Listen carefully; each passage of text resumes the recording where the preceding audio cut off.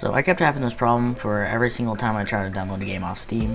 After a while, I'd just sit there and prepare, and then it would tell me content servers were unreachable. Uh, there's many ways to fix this. You, if this, you can do this. Go to Steam, click on upper left hand corner, go to settings, go to downloads, and then you can change your download region to whatever you want. Uh, if that doesn't work, this is what worked for me. Uh, you need to get to your control panel. The way you do that is you go to your uh, File Explorer, I think this is called.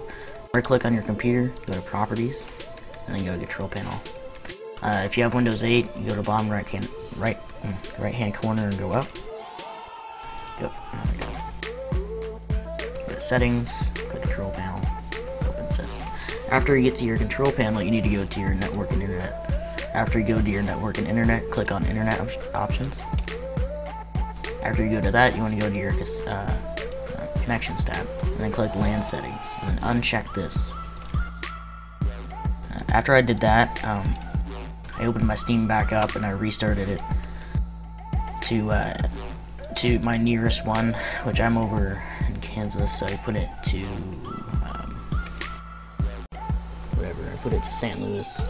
Right now it's on Phoenix, but it doesn't really matter. Then you restart your Steam, and then you can download the games. I hope it worked. Uh, tell me if it did. Uh, leave a like, subscribe, all that cool stuff.